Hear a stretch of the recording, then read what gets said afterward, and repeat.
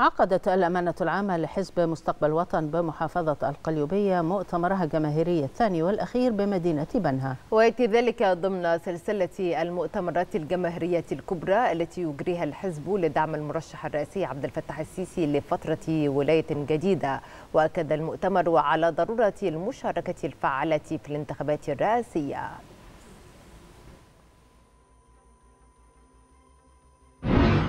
طيب هنا السؤال ليه عايزين فخامة الرئيس عبد الفتاح السيسي؟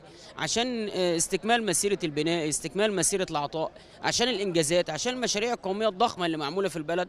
ده إحنا عشان نقعد نعد المشاريع اللي فخامة الرئيس عملها. إحنا عايزين مجلدات نكتب فيها الكلام ده. ولكن هي الناس شايفة على أرض الواقع شايفة إيه اللي بيحصل؟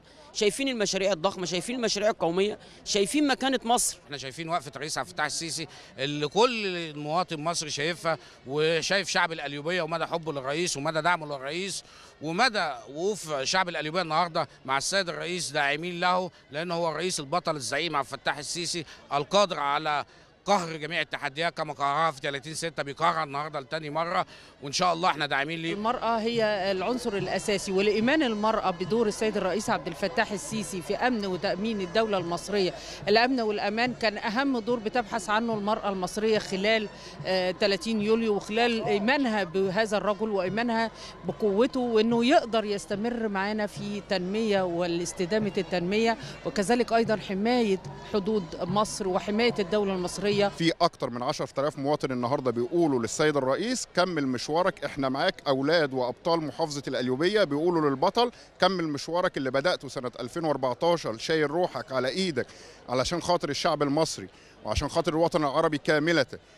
يكمل مشواره والتنمية اللي حصلت في جمهورية مصر العربية في 10 سنين ما كانتش هتحصل في 50 سنة فإحنا جايين نقول للرئيس شكرا يا ريس وكمل مشوارك وإحنا وراك وإحنا بندعم السيد الرئيس عبد الفتاح السيسي كدعم لسيد الرئيس لأنه هو عنده خلفية عسكرية ومصر بيحوج بيها خطر دلوقتي من الدول المحيطة. إحنا شايفين الأجواء ملتهبة إزاي في جميع الدول المحيطة لمصر.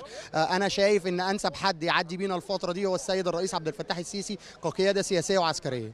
إحنا بنقول أول حاجة إن لازم كلنا يبقى إيجابيين في حياتنا والإيجابية هي اللي بتصنع الأوطان.